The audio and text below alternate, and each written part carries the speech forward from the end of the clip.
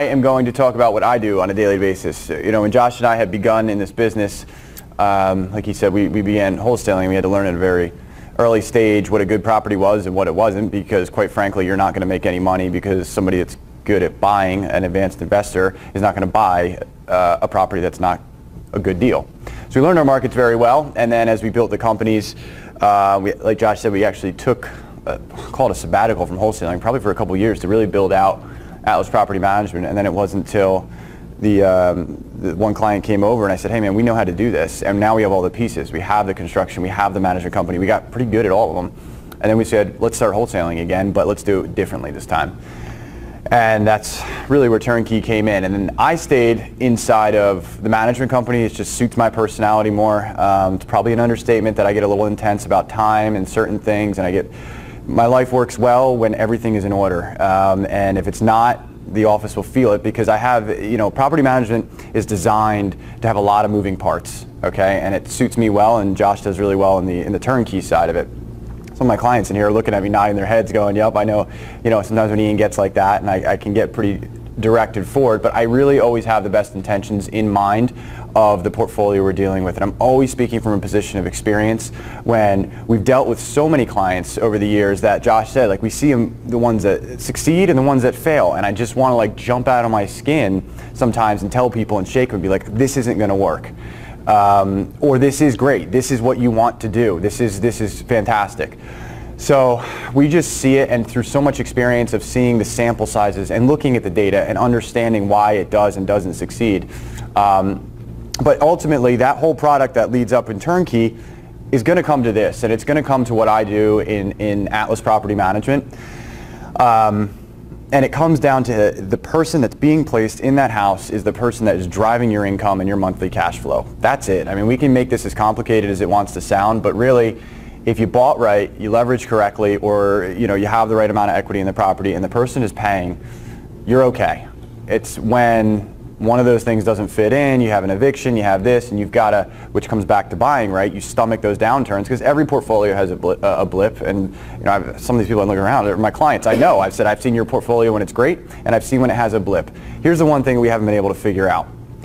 We don't know why certain portfolios, it's, it never seems to be, let's take one of my clients, let's just say they have 10 properties for whatever reason, there's usually a stretch of years where everything just is okay, there's some bumps, there's some bruises, and then like a light switch, it's four evictions and four things go out. And, and, with, and, we have not been able to pin down those management clients. And we actually built Turnkey to avoid um, the clients that come from Turnkey as opposed to the um, third-party clients that contact me and say, hey, I'd like you to manage my property because they're not in Turnkey.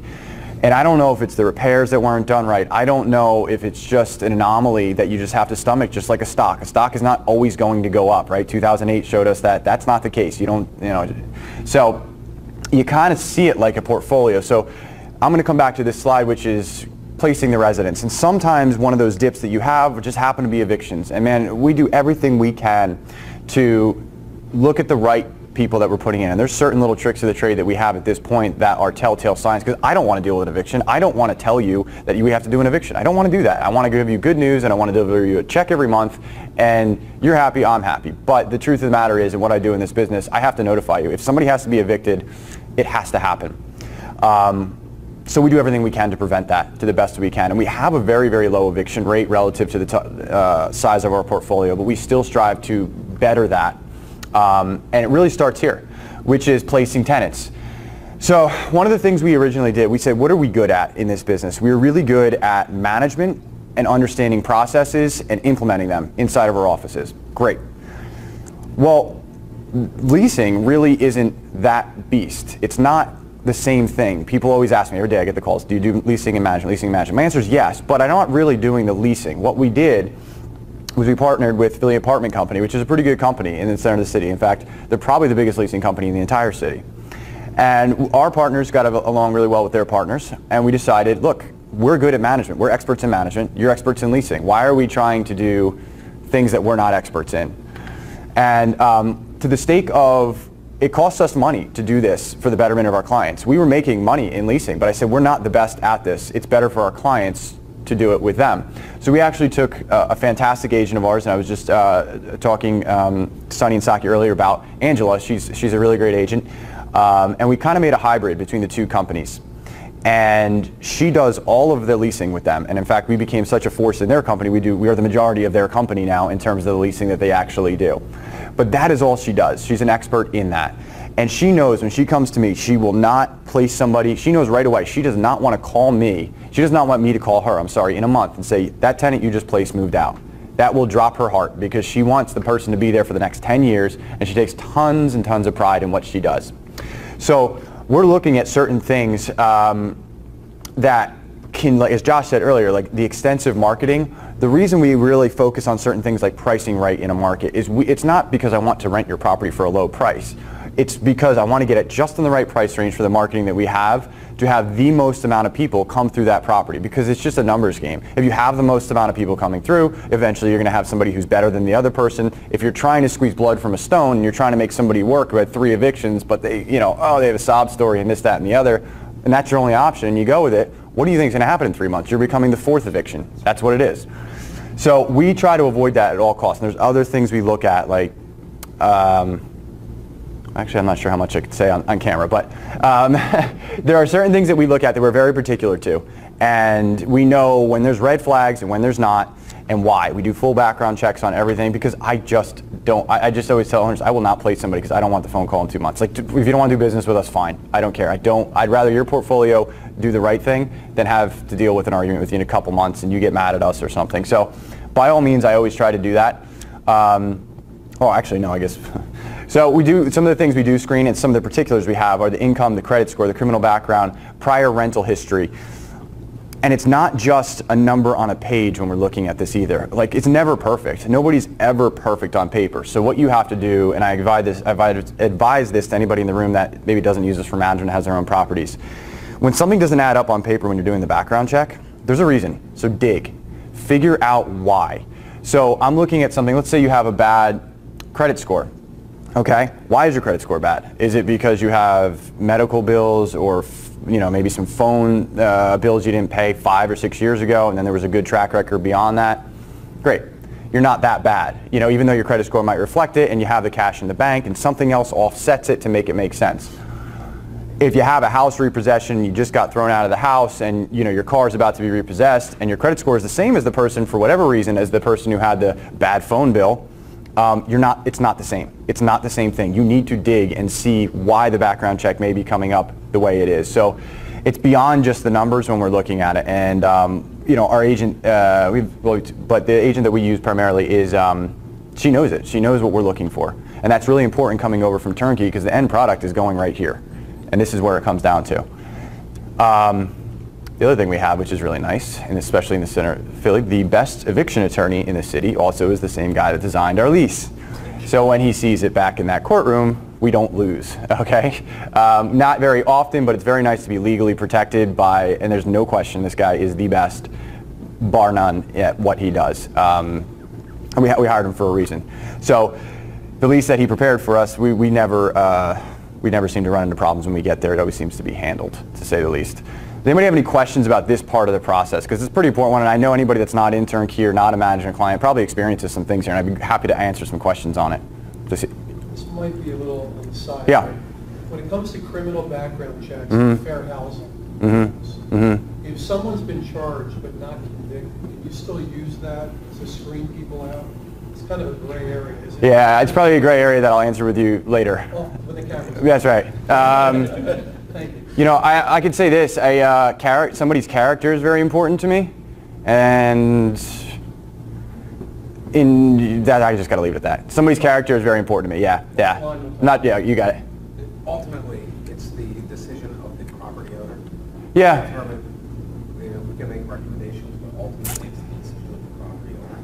I- They're going to put it in the cabinet. Yeah, it's a good point. I mean, like Josh says, it's ultimately the owner's decision whether they go in. It's their property, ultimately. Um, I can tell you from experience what we're thinking and what we recommend if you ever have any questions, but we certainly consider all that stuff because it's just, you know, when you do something a thousand times, whatever you guys do for your day jobs, if you're pretty good at it, you've had it for years, you see things coming so far down the road at whatever you're doing that it's not because you're some magician in what you do. I'm not a genius. Josh isn't a genius. We've just done this so much that all of a sudden all those red flags pop up a mile away that somebody that's not experienced at it just didn't see it. And then bang, you get blindsided, you learn your lesson. Hopefully it wasn't expensive. And you go to the next one.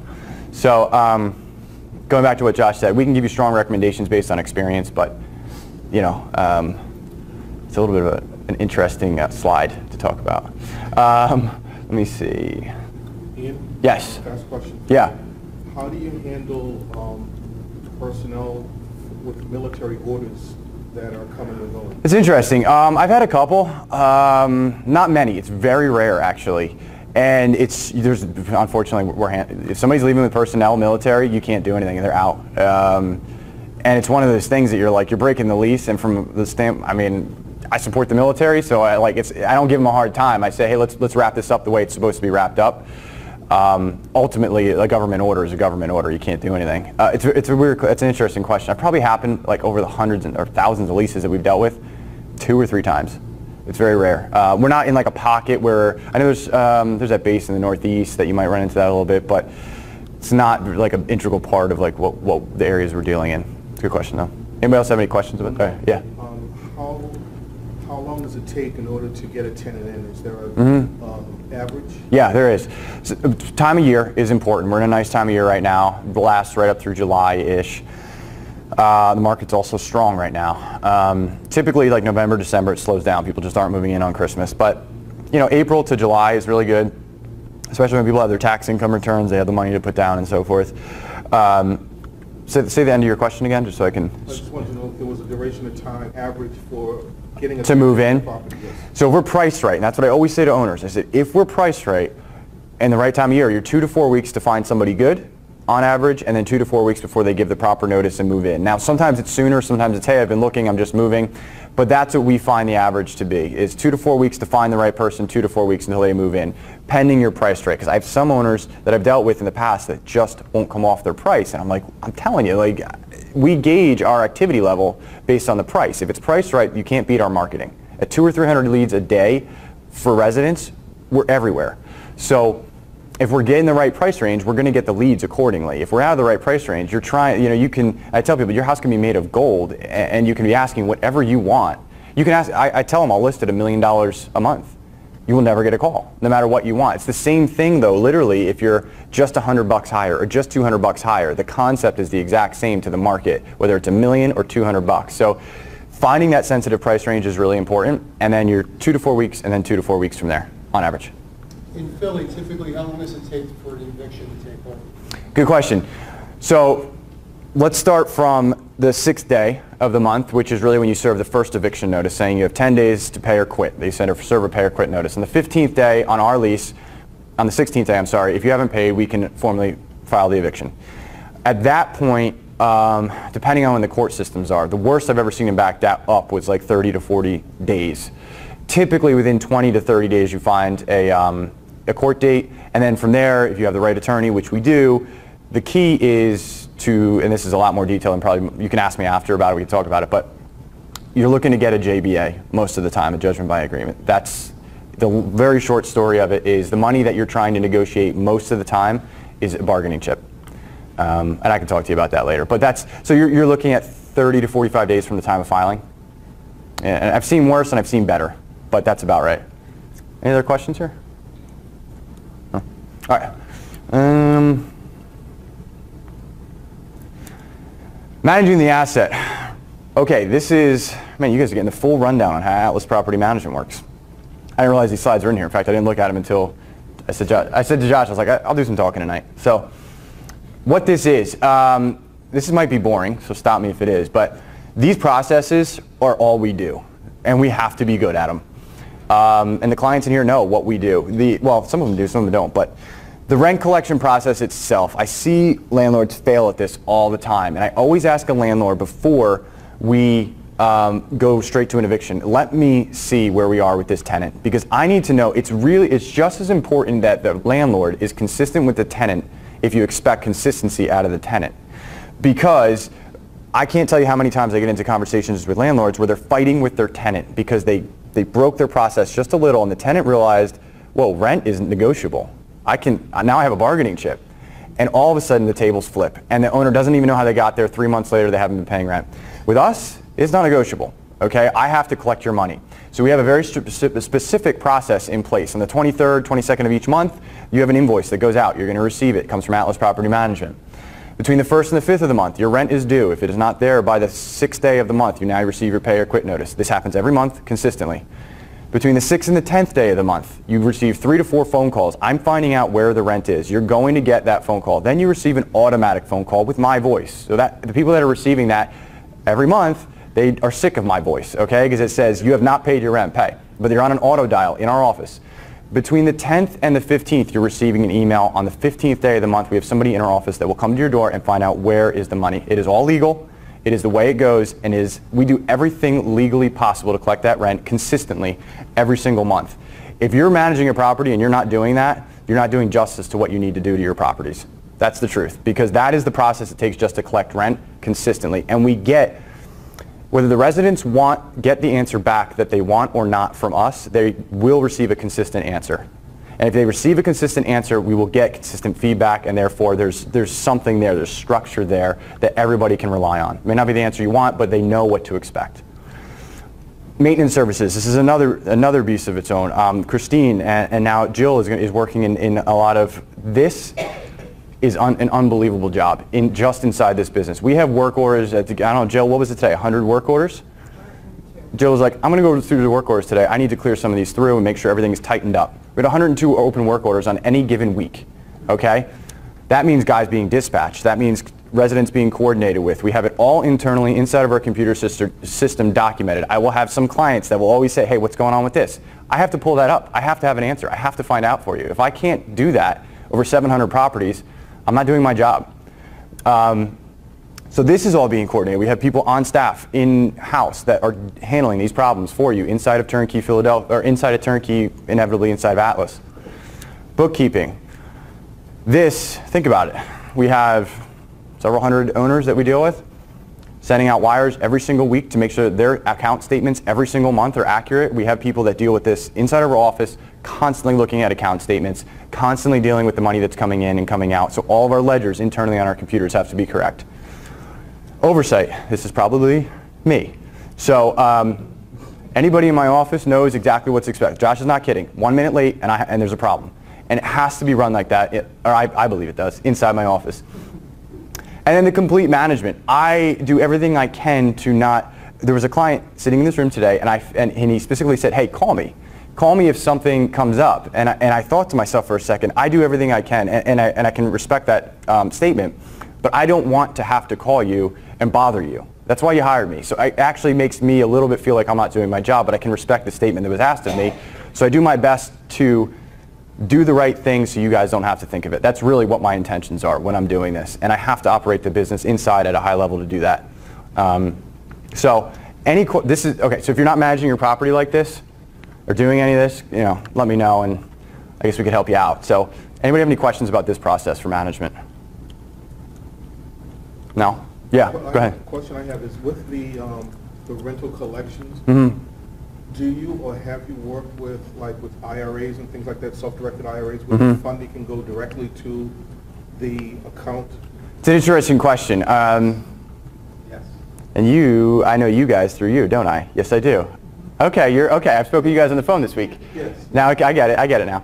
Um, to answer your question, yeah, Josh, Josh said yes. I don't know. We, I, a lot of the money that goes out, it's directed to an account. It very well is or could be or can be an IRA. I don't pay much attention to that. I just know where it has to go. The actual function of the account um, would be something that Josh or Pam would know more about than I would. Um, I just know that the money has to go to that account particularly. So the answer is yes. I don't know which of my clients it is. I just know it has to go to that account. So. Okay. I have a question. Can you Yeah. just go back for a second? Yeah. Now, as for, you really got my attention when you talking about the man, the management perspective. So I understand that's what you do for turnkey. Mhm. Do you take, when you, other people call you, and do that, so you all, do you also look for Yeah. another business, right, there where where you manage other people's properties? Yeah, yeah. I, I mean, more than 50% of our clients are, are third party. They're not in-house. Um, yeah, so that was where Atlas started. But the reason we have turnkey is we had all the pieces. It was like we can wholesale, we can manage, we have the construction. We're like, we know what we're doing here. So that was so. Will it ever change? Uh, maybe. I don't know. Um, I enjoy working with my clients. I enjoy. It gives us a really good pulse and a really good spectrum on the entire market because I have clients from all different walks of life, and I can feel the market much better rather than because with turnkey it's more of a controlled situation and we're steering the market, whereas um, with third party I can see where the market is and who's making what mistakes. I could see a lot of mistakes in 2008 and a lot of clients in certain positions because of 2008. So